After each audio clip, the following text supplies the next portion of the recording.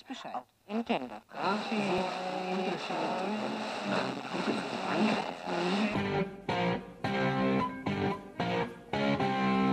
Salve a tutti, parliamo oggi della Safar 522, prodotta in Italia nel 1935. Aveva onde medie e onde corte e funzionava a 220 volt e 5 valvole. Una bella radio verticale, imperacciata in noce. Questo modello in particolare, come vedete, è mancante del pannello posteriore, come purtroppo succede spesso. Per il resto è tenuto abbastanza bene.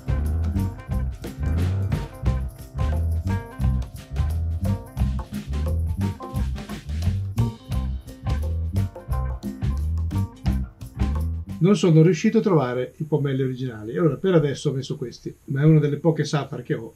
E poi è bella, volevo farvela vedere. Grande altoparlante, 20 cm. Se la volete smontare per pulirla, lavorarla, dovete togliere i pomelli, sbloccare il telaio qui sotto, fate una bella foto e poi estraete il telaio e togliete le valvole.